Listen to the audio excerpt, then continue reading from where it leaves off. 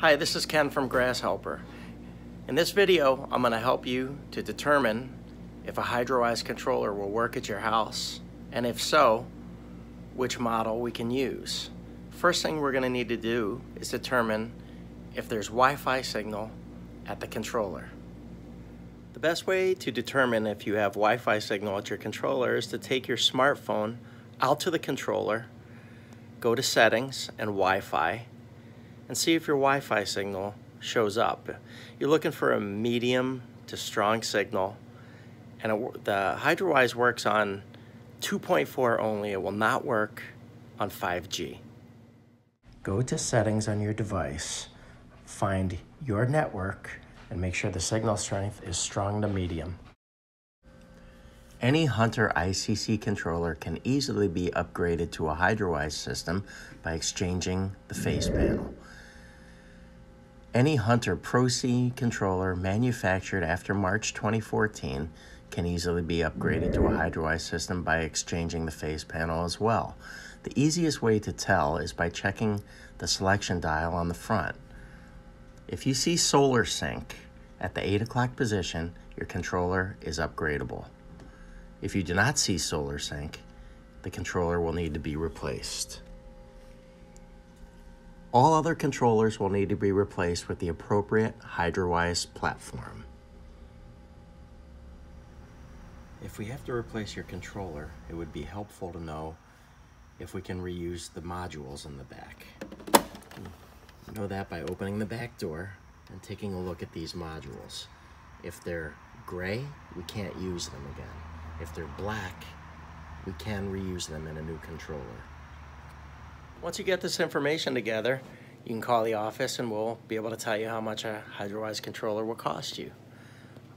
I hope that you'll seriously consider installing one. You can expect that it'll pay for itself in less than a year. And that doesn't include the benefit of all the features that you'll be able to enjoy with this awesome device. Look at this. This is my sprinkler system. This is the dashboard. I can run a zone however long I want. I can run it for a minute. Run it now. Go over here, you can see it's running. Actually, I have a flow meter, and this will actually tell me how much water is flowing right here. Here's my water savings, 53%. That's incredible status. It's online. Go to zones and schedules, and this is where I set my controller up. Tell every zone exactly what to do. Here's my watering schedule. I can go over here to water triggers, and I can adjust how much Hydrawise is affected by the weather. I can make all my changes right here. I can go to reports and I can see an actual watering history. And if you can see, there's days that are crossed out. It tells you why, why it didn't water.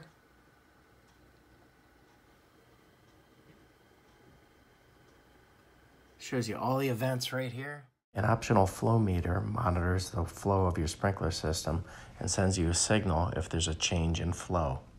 You do not have to be tech savvy to operate the Hydrawise system.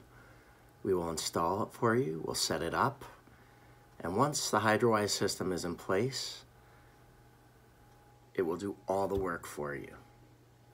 You can make changes if you want to, or we can do it right here from our office. Please give us a call if you have any other questions, and we'll be happy to help you out.